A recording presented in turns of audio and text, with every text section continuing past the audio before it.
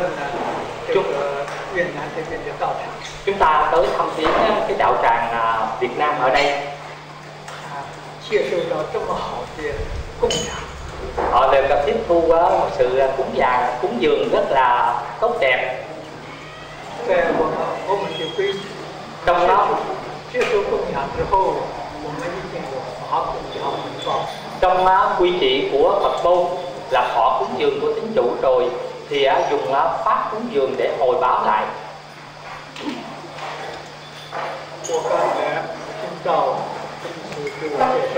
Tôi à, vừa nghe thầy ngộ thông à, giới thiệu.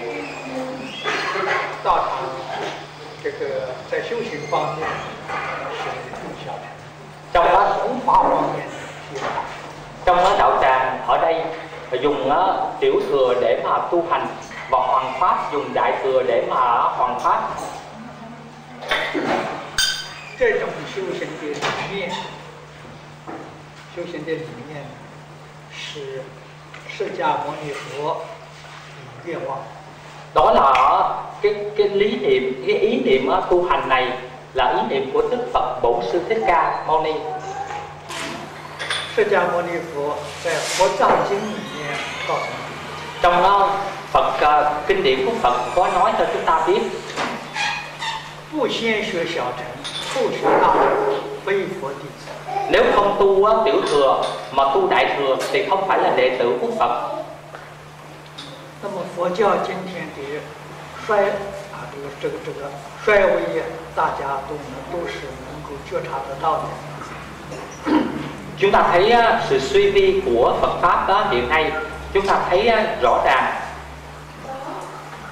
那么佛教为什么会衰？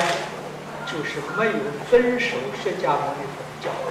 Phật Phật pháp á, suy á, suy vi là vì á, chúng ta không tuân thủ á, lời giáo hóa của Đức Phật Bổn Sư Thích Ca Mâu Ni. 那么在中佛教传到中国已经有两千年的历史。 Trong đó lịch sử Phật pháp tới Trung Quốc á, hơn 2.000 năm. 那么在传到中国的时候，小乘非常兴盛。 Trong á, khi mà truyền tới Trung Quốc thì á, tiểu thừa cũng á, được nhập vào á, tăng trưởng ở tại tại 在 Trung Quốc. 在隋唐的时代，小乘有两个宗派， Ở trong á, trong đó có hai cái tôn phái ở tại Trung Quốc tiểu thừa 是学佛的 同学必须要修学。 đó là là phật tử các vị tu hành ờ, là phải á, tu theo hai cái môn phái này 那么这两个宗派在唐朝中叶以后啊，唐朝中叶以后就衰了。 thì ờ, qua đời đường thì hai cái tôn phái này á, bị suy yếu 呃，那么在中国的这个出家在家的，呃，都不用这个方法。 thì ờ, tại ờ, người xuất gia và tại gia tại Trung Quốc không dùng á, phương pháp của hai á, cái tông phái này 那么是不是违背了佛陀的教训？ đó có thể là nói là hủy bán lại á, lời giáo dục của của Phật Đà hay không 那么中国的祖师大德们，他们用儒、用道代替小乘。 thì ờ, tổ sư á, tại Trung Quốc dùng nho và dùng đạo để mà thay thế hai cái tông phái tiểu thừa này 所以在这一千多年来，差不多将近一千七百年来呀，这个中国历代高僧啊，这个在家的学佛的高士啊，高僧高士，人才非常多。 cho nên hơn á, 1.700 năm qua ở các cao tăng và các á, vị á, cao sĩ những người á, tại gia học Phật đã xuất hiện được thật sự là những nhân tài những tăng tài cho xã hội 所以佛大乘佛教在中国就特别的兴旺。 cho nên á, đặc biệt ở Trung Quốc ở Đại thừa Phật pháp rất là hưng thịnh 可是，在我们最近这一个世纪、一百年来的时候，佛法在中国逐渐衰落。 và hơn một năm qua Phật giáo tại Trung Quốc cũng đi xuống con đường á, suy đồi 这个衰的原因呢，现在无论中国，无论是出家在家了， 他也不学儒了，也不学道了，也不学小乘了，是把修行的根呢，就舍舍得丢掉了。 cho nên á đối đối với người ở xuất gia cũng như người ở tại gia ở nho cũng không có học đạo cũng không tu và tiểu thừa á, Phật pháp cũng không có tiếp thu cho nên á, Phật pháp á, tới cái, cái tình trạng suy đồi 那我们在这个这个国际上呢，走了这么多年，这么多年，看到许许多多地方啊，我们同修的修学都有问题。 và chúng chúng tôi đã đi á, cho các nơi ở trên thế giới và thấy cái vấn đề tu hành của tại gia xuất gia thật sự là có có vấn đề 所以在最近这些年来，差不多将近十年了，我们特别提倡这个儒家的弟子规呀，道家的感应篇和佛法的十善业道啊，这是我们修行的根。 và trong nhiều năm qua đặc biệt là 4 năm qua do chúng tôi á, đề xướng ở cái căn bổn tu hành để trong nho giáo là đệ tử quy trong đạo giáo là cảm ứng thiên 那么这些呢，确确实实是代替了小乘啊，而且这个它这个在理念上呢，比小乘呢还要殊胜，所以用这个来进入大乘佛法就没有问题。 và ờ, chúng ta dùng cái phương pháp này nó tối thắng hơn tiểu thừa và mọi mọi người công nhận và từ cái căn bổn đó, tiểu ờ, căn bổn của đạo giáo và nho giáo tức là đệ tử quy và cảm ứng thiên chúng ta có thể ờ, tiếp thu có thể tiến lên ờ, đại thừa Phật giáo 那么特别在最近这几年， đặc biệt 啊，这个社会呀、动乱很严重，啊，灾难很多，很频繁。 đặc biệt là những năm gần đây chúng ta thấy á, tai nạn á, xảy ra rất nhiều và rất là trầm trọng ở các nơi trên thế giới 我们最近访问许多宗教的呃长老们，呃，他们都问我啊，对现前这个社会的动荡跟这些灾频繁的灾难，佛教是怎样的看法？ thì à, chúng tôi có đi phỏng vấn các vị trưởng lão của các tôn giáo khác ở trên thế giới và họ đề ra một cái những cái câu hỏi là đối với Phật pháp giải quyết làm như thế nào với cái tai nạn, với những cái cái hiểm họa đang xảy ra trên thế giới với cái con mắt, cái nhìn của Phật Phật giáo.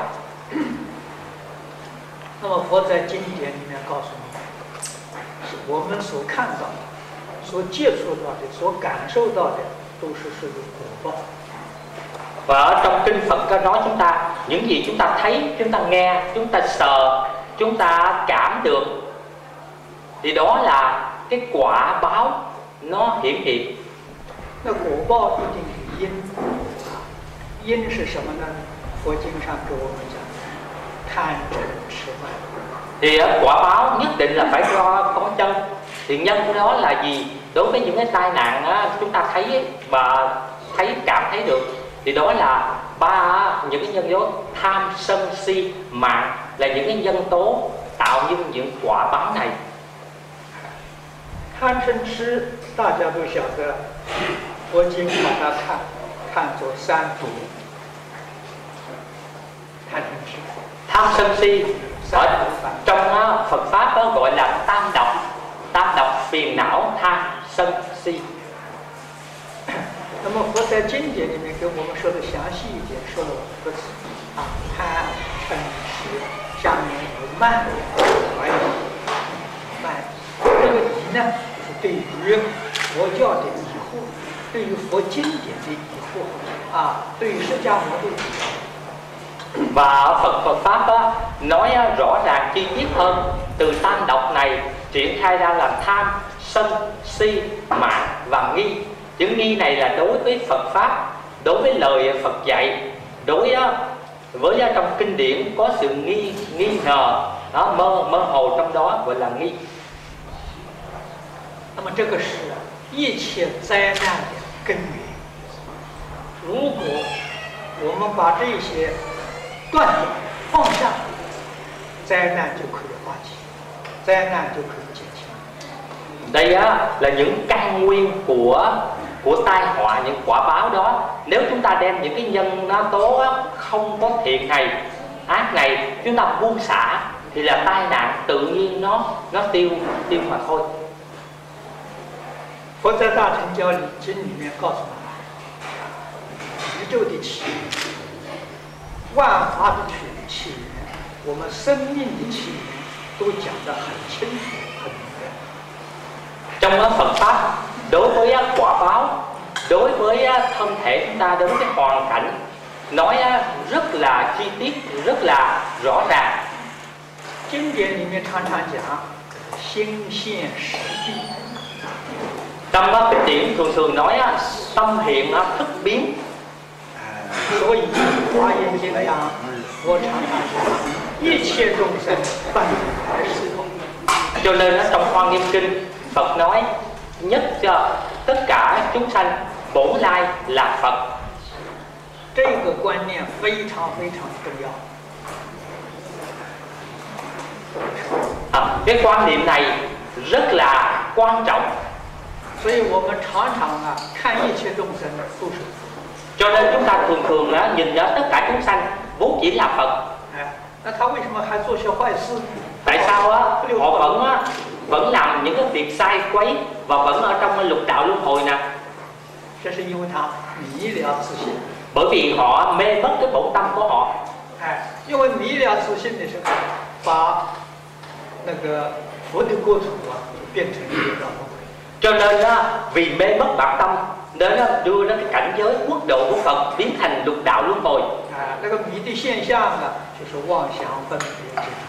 那个迷的现象啊，就是妄想分别执着。 cái hiện tướng của mê đó là vọng tưởng phân biệt và chấp trước 那么在一般大乘经里面讲呢，见识烦恼、尘沙烦恼、无明烦恼。 ở trong kinh điển á, nói á, là những phiền não này là vô minh phiền não đó, trần sa phiền não và kiến trục phiền não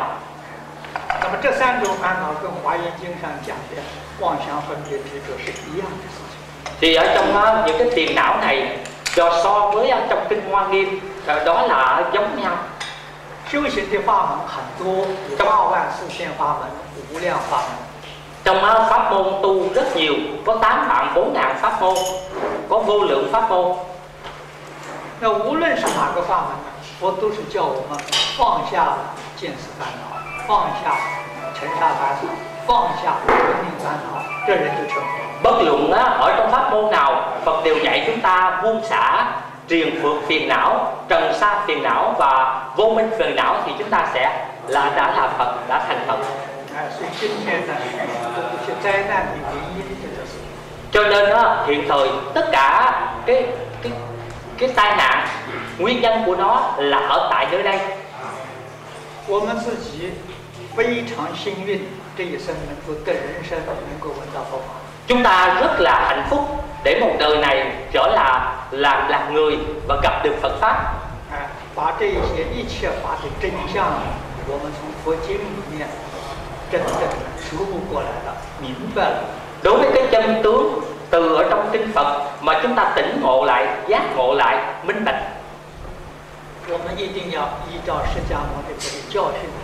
去修行。 chúng ta nhất định đó, theo lời giáo huấn của đức phật bổn sư thích ca mà tu hành. Chúng ta tâm lượng phải khai mở, đừng có nghĩ đến tự kỷ.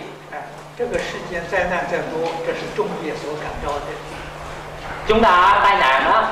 rất rất là nặng, thì chúng ta ở đây có thể cảm thọ được, cảm nhận được. 我们在大乘佛法里修学，一定要觉悟，真正的觉悟。 chúng ta ở trong đại thừa Phật pháp nhất định là giác ngộ phải chân thật giác ngộ 真正觉悟的人是活在当下， cho nên á, người ở chân thật á, giác ngộ là sống ở ngay đây 啊，没有过去，没有未来。 không có quá khứ không có vị lai 哎，你能够常常这样的想， thì nếu mà chúng ta cứ thường thường nghĩ như vậy tâm của chúng ta cùng với đạo sẽ tương ưng. À,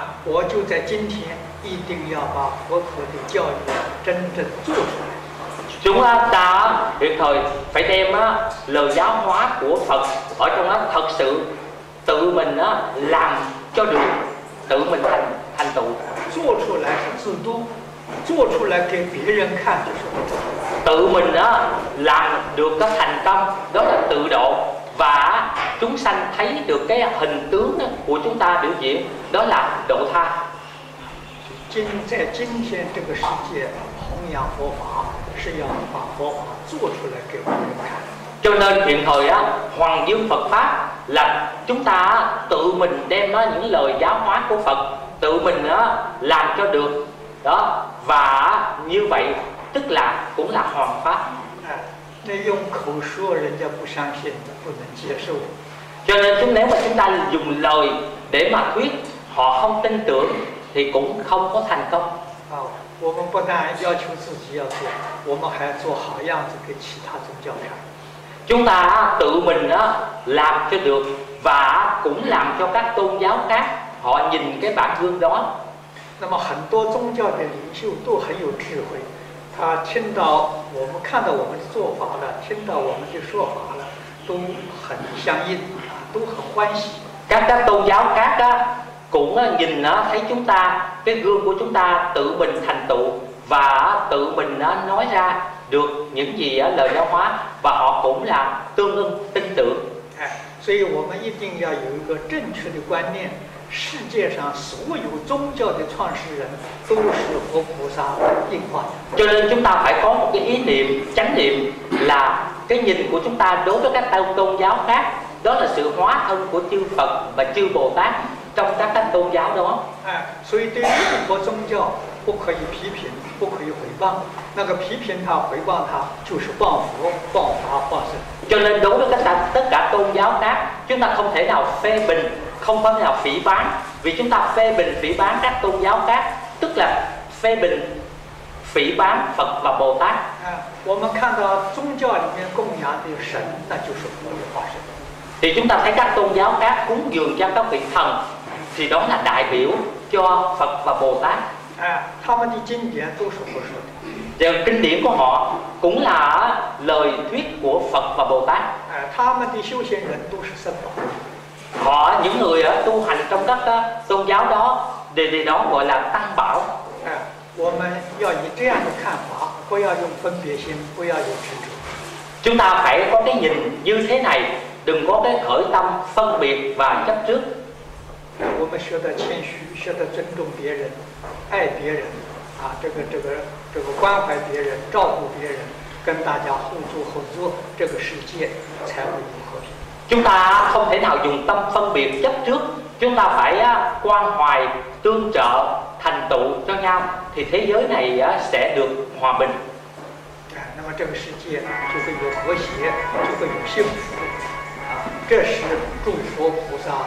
普度众生。 thì ở thế giới này sẽ được hạnh phúc mỹ mãn viên mãn thì đó là Phật Bồ Tát đó, gia trì bảo hộ đó, quán đó, đó, quan á, tâm đến thế giới của chúng ta 哎，三宝这个这个呃，三宝的愿望是要我们从我们自己身上做出来。 ở nguyện vọng của chư Phật Bồ Tát là mong muốn rằng á, ở trên thân thể của chúng ta thân tâm này của chúng ta chúng ta thực hiện cho thành tựu lời giáo huấn đó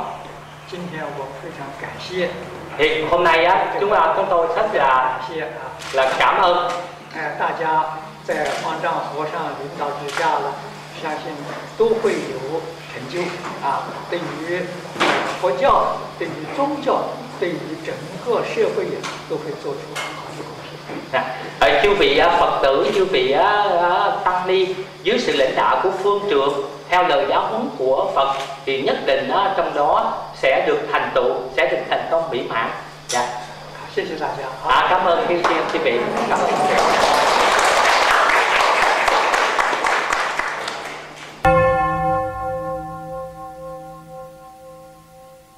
A 印光大师开示。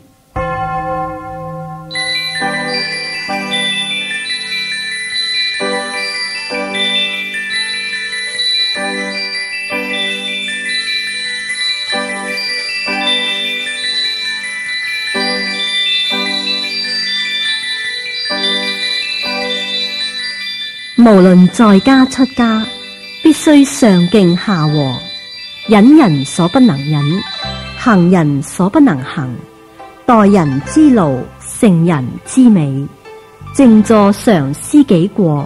閒談不論人非。行住坐卧，穿衣食飯，從朝至暮，從暮至朝，一句佛號不令間斷，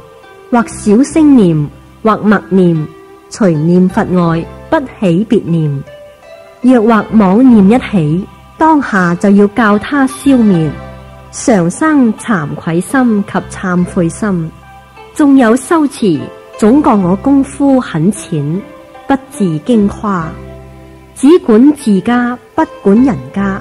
只看好样子，不看坏样子，看一切人都是菩萨。唯我一人實是凡夫，果能依我所說修行，決定可生西方極樂世界。南無阿彌陀佛，阿彌陀佛。